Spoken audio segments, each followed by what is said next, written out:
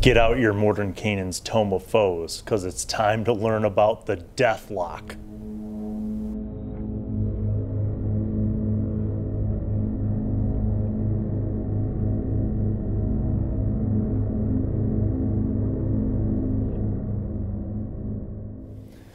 Okay, you guys, if you're following along in Mordenkainen's Tome of Foes, the Deathlock is an incredibly, incredibly narrative, excellent choice for using undead in your spooky adventures. Now, I want to start off by saying that if you have adventures or a campaign where some one or multiple people are playing warlocks, this is a superb monster to use because you can use the Deathlock as a foreshadowing mechanism for so many different angles within stories and campaigns. The idea of the Deathlock is that you have a warlock who failed to fulfill their pact and has been punished with an undead existence serving their patron. Um, so, off the top of my head, I read this and I was like, ooh, what an awesome in game punishment for a warlock who fails to roleplay and act according to their pact. And I'm going to tell you this. This might come off as a little bit harsh, but I'm going to tell you this. When I think of warlocks, I think that a DM is well within their right to kind of keep track of how consistently a player is playing a character who is a warlock warlock and how consistently they are demonstrating their, their servitude to their patron. Because if they're not, if a player is just using a warlock, no matter what pact they have, if they're just using a warlock as like another kind of spellcaster and they're not really integrating the role playing of that pact into the game, you need to give them reminders of why that's important. Take away some of their powers, punish them in some ways. And if they're consistently failing to fulfill their pact, kill them and bring them back as a deathlock. That's kind of one end of the extreme pendulum of how you can use deathlocks. Another end would be you have an NPC who's an ally of the party. And that could be a friend of somebody who's already a warlock in the party, or it could be somebody who's like an arcane caster or even a divine caster who has made an alliance with a warlock. You know, and maybe this warlock NPC has gone on adventures with the party and you know when they were lower level and then as a recurring npc in your campaign and then something happens. They haven't heard from him in a while. They haven't seen him in a while. They start you know asking around about him and they find out that like he's disappeared and that the last known place he went was this you know the tower of uh, blah blah blah. And you know they start to investigate. They find out that in fact he had failed or broken his pact and was punished and came back as a deathlock. This could create a whole scenario, multiple adventures, where they're trying to basically at first find out what's going on with this friend. Or, you know, it doesn't even have to be an ally or a friend, it could be an NPC that you set up as someone of interest to the party. And maybe the family of that person is like, find him and redeem him. It's not too late to save him, you know, so they could be heroes in this mix. The idea that they could try to find this deathlock and somehow figure out a way to bring him back to redeem him in some way. Or if they determine that that's not possible, then they have to stop him. But they find out that he's part of a much larger conspiracy, that there are other deathlocks, other failed warlocks bound to this patron. And this could weave itself into an entire campaign. I'm so excited because this is such a great and yet subtle and already broken up and scaled um, option. So Let's start off by looking at the three types that are explored here. So there's the base Deathlock, there's the um, Deathlock Wight, and then there's the Deathlock Mastermind. And actually, if you wanted to look at them in terms of power, you kind of start off on the low end with a Deathlock Wight, and then a regular Deathlock, and then a Deathlock Mastermind. So what is a Deathlock? Well, other than what I kind of already explained, it's basically a warlock who failed or broke their pact and was punished with an undead servitor kind of existence. Um, this means that basically anything that doesn't have to do with fulfilling their pact is no longer important. They might retain some memories of their previous existence, which leads to kind of cool story playing and interactive elements. But they no longer have desires to do anything other than fulfill the, um, the, the will of their patron, of their master. So at the um, Deathlock level, a regular Deathlock is considered challenge rating 4, uh, with an AC of 12 or 15 if they happen to cast Mage Armor, 8d8 hit points. Um, they have damage resistance to necrotic, and then bludgeoning, piercing, and slashing from non magical attacks that aren't silvered. Damage immunities to poison. They're immune to exhaustion and poison. Uh, they have innate spellcasting. So the Deathlock's innate spellcasting ability is charisma, just like a warlock. DC 13. It can innately cast the following spells requiring no magical components at will detect magic, disguise self, and mage armor. Do you realize how powerful disguise self is at will? That they could just do that? So they don't have to walk around looking like a, a undead skeleton zombie kind of version of their themselves. They could appear to be how they looked. They could appear to look like anyone, frankly. You could have so much fun with that as a DM. Maybe they don't even know, maybe the party doesn't even realize that their friend is a Deathlock. Maybe this Deathlock is clever and has like infiltrated the party, which would make sense, by the way, because the um, suggested intelligence they give is a 14. So it's not like you're dealing with a dumb zombie who's just like, eh, kill, the master has told me to kill. You know, this could be a very clever uh, kind of infiltration of the party. And, and if you establish this NPC as like a friend and an ally, and maybe even good prior to their pact being broken and being turned into a deathlock, maybe there are machinations from higher level deathlocks, like a deathlock mastermind, or even from the patron themselves or itself, um, to have this deathlock infiltrate the party to find out information or to acquire something or to manipulate the party to acquire some things and go on adventures to acquire things, all with this subliminal notion that they're doing this for their master, for their patron. So awesome. So awesome. Deathlocks have so much story potential. Innate spellcasting, just with those three things, is pretty badass. But then you have um, their ability to cast as a fifth level spellcaster. Again, using Charisma as their ability, spell save DC, plus 5 to hit with spell attacks. Uh, it regains its expended spell slots when it finishes a short or long rest, just like a Warlock. It knows the following Warlock spells Chill Touch, Eldritch Blast, and Mage Hand um, as cantrips at will. And then first through third level spells, they have two third level spell slots Arms of Hadar, Dispel Magic, Hold Person, Hunger of Hadar, Invisibility, and Spider Climb. They have turn resistance. The Deathlock has advantage on saving throws against any effect that turns undead, which makes them significantly more formidable when it comes to um, having divine people in the party trying to, you know, uh, cast them away with turn undead. They also have a melee attack, Deathly Claw, which is plus four to hit. Uh, it does 2d6 plus 2 necrotic damage. I mean, frankly, with their spells that they're able to cast at will, I don't even know why they would bother with that, but it's cool. Now, they have patron specific spells as an option for the DM to choose when they're building a deathlock. Let me explore that. So you can customize a deathlock by replacing some or all of its spells in its spellcasting trait with spells specific to its patron. Here are examples.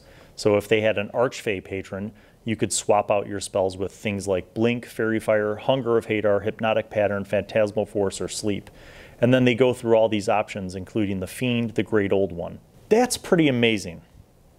It's a challenge rating 4 thing, so it's something that, again, if you introduce this character, this NPC, when they are mortal as a warlock, um, and maybe have them be a recurring NPC in like the early levels, like first, second, third, fourth, or whatever. You can work your way up to this storyline where this NPC has become a deathlock. And now at mid level, this is a perfect match to kind of infiltrate the party or to go directly opposed to them or compete with them, however you want to play that. But it's a great way to do this. Now, um, the Deathlock Mastermind is a bit more powerful. It's already scaled up. So you don't even have to use my scaling system because they have uh, a version of the Deathlock that's scaled up a little bit higher. The Mastermind has AC 13 or 16 with Mage Armor. They have significantly more hit points 20 D8 plus 20 hit points. Um, pretty much the same damage resistances, immunities, condition immunities, and so on. They're considered a challenge rating 8, so let's find out why. Well, I'm sure you can guess. It has to do with their spellcasting abilities. So they're more powerful warlocks um, who were able to retain more of their knowledge and magic after they were turned. And they're basically like captains, you know, in the hierarchy, more directly in contact with their patron and kind of even having underlings too. So that's another component. The Deathlock Mastermind might have other undead who serve it in order to fulfill the will of the patron. Um, the innate spellcasting is uh, at a slightly higher, not significantly, but you know DC uh, 14 for spell saves against their magic. They also have detect magic, disguise self, and mage armor. Their spellcasting is done as a 10th level spellcaster. Um, slightly better, like I said, DC 14 spell save against their magic, plus 6 to hit with spell attacks. They have the same cantrips uh, with the exception of adding in poison spray and minor illusion instead of disguise self. So there's that. Uh, they have first through fifth level spells with two fifth level spell slots. Um, Arms of Hadar Blight, Counterspell, Crown of Madness, Darkness, Dimension Door, Dispel Magic, Fly, Hold Monster, and Invisibility. They also have advantage on saving throws against any effect that turns undead. They have Deathly Claw as well. It's a little bit more powerful, plus 6 to hit with 3d6 plus 3 necrotic damage. But then they have Grave Bolts. Check this out. Range spell attack, plus 6 to hit, range of 120 feet one or two targets. Uh, it's 4d8 necrotic damage. If the target is larger or smaller, it must succeed on a DC 16 strength save or become restrained as shadowy tendrils wrap around it for one minute. A restrained target can use its action to repeat the saving throw, ending the effect on itself on a success. Wow, that's dope. That's so cool. So it's like Eldritch Blast mixed with Thorn Whip. Uh, that's really cool. That's really cool. I could see you developing this whole shadow conspiracy of um, Deathlocks who you have like maybe one or two masterminds that are kind of controlling other Deathlocks within a region, all of whom have other undead who are weaker but are servants, right? So they're their machinations should be tied to some big conspiracy involving the patron. This is all things that you could think out and kind of outline in advance, and then create little tiny tendrils of storylines to hook your players into this and have them discover this mystery, this grand conspiracy gradually, piece by piece, puzzle piece by puzzle piece as they go on. It's not something that you would just, bleh, there's a conspiracy you know, it, it would be something that would be revealed through multiple adventures. And it has, this has such rich potential um, for how you can use this. The Deathlock Wight is the weakest of the three options, and the reason why is because bereft of much of its magic, a Deathlock, a Deathlock Wight lingers between the Warlock it was and the deathly existence of a Wight, a special punishment meted out by certain patrons and necromancers. So they're weaker um, because of the fact that they don't have um, the same level of spell casting, but it's also an actual like story element. Like they were punished extra hardcore and, and you know, given um, less of their old abilities, which is pretty cool. Um, they have pretty much all the same resistances, yada yada, fewer hit points. Uh, they do have innate spell casting, um, DC 13 for their save. They have Detect Magic, Disguise Self, and Mage Armor. They have one um, spell per day, Fear, Hold Person, or Misty Step. Where they are a little more susceptible is sunlight sensitivity. So while in sunlight, the wight has disadvantage on attack rolls as well as wisdom or perception checks that rely on sight. That makes sense. All right, so their attacks, however, are still really cool. They attack twice with Grave Bolt still a ranged spell attack, plus 5 to hit, 120 feet range, and 1d8 plus 3 necrotic damage. So Certainly not as much damage inducing as the grave, grave bolts that come from a Deathlock Mastermind, but still pretty badass at low level. That, that could do a lot of damage. But they also have life drain. And we've seen this effect in use with other undead. Um, life drain is pretty serious. Uh, plus four to hit. It's a reach attack, five feet range, 2d6 plus two necrotic damage, and the target must succeed on a DC 13 con save, or its hit point maximum is reduced by an amount equal to the damage taken. This reduction lasts until the target finishes a long rest. The target dies if this effect reduces its hit point maximum to zero. A humanoid slain by this attack rises 24 hours later as a zombie under the Wight's control, unless the humanoid is restored to life or its body is destroyed. The wight can have no more than 12 zombies under its control at one time. So this, again, factors into the great conspiracy. Maybe as your campaign goes on and the party finds out more and more about the patron and the kind of cult um, that is following this patron that includes Deathlock servants masterminds and regular deathlocks and deathlock wights, they begin amassing an undead army. So think of it, for every deathlock Wight, they could have up to 12 zombies. If you had 10 deathlock Wights who each had a squad of 12 zombies, now you have an army of 120 zombies. And that would be fairly easy to do if they moved around a lot and just kept, you know, attacking small hamlets, wiping out the people there, turning them into zombies, bringing them around it, it's very, in a lot of ways, it has a little bit of a the, the Game of Thrones overtone with the Night King. Um, you know, you create this undead army, and what you can do as that army grows becomes more and more significant, right? You still have to think as a DM, though. You have to know you, as the DM, have to know your outline, your master plan. What is the conspiracy? Identify the who, what, when, where, why, and how. Think about the patron. What does the patron want? Think about who serves the patron. It's a mixture of mortal people and cultists and warlocks and necromancers and deathlocks and other undead. And why? Why are they serving this master? Why are they serving this patron? How are they trying to bring this patron through to the prime material plane? So all those questions need to be figured out by you when you're you know creating this arc. But I I personally feel like the deathlock is has like opened up my eyes to so many potential adventure ideas.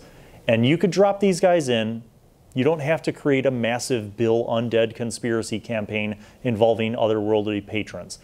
You could just drop these in, you know, into a mid-level or higher level campaign setting without all of that background, okay? You could.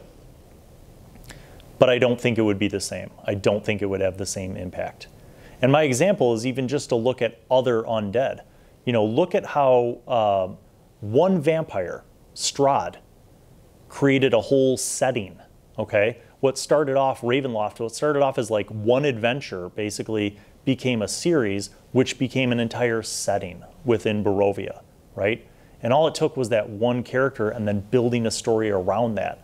You could do very much the same thing and integrate multiple characters and cults and factions and groups and have them competing for things, some of them knowing what the big plan is, some not even knowing. Think about it. A, a, good conspiracy, there's a lot of people involved who don't even know that they're serving the interests of that group or that conspiracy. You could have so much fun with this. So I hope that you give it a chance. And if you have, by the way, if you're a DM or a player who has had experience with Deathlocks, please comment below this video and share your stories. I love to read how other people are using these things. So I hope your October is going well and this has been another Spooky Monster Monday with our undead friends, the Deathlocks. We'll see you on the next one.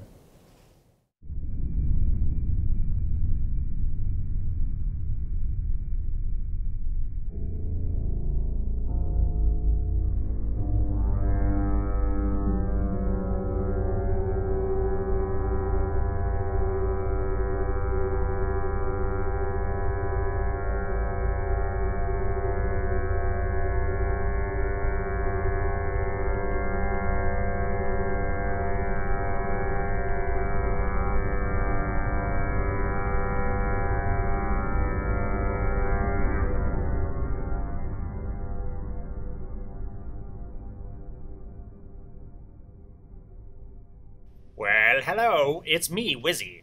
I'm back once again to remind you to subscribe and click on the notifications button and also watch videos that are over there. And then don't forget to tune in to the next episode of whatever show you are just watching. And crafting videos and DM tips and pro tips for vlogging and all sorts of gaming things. And also you could watch Bill eat food and watch other shows featuring Bill. He made me say that because he's a narcissist. Okay, bye.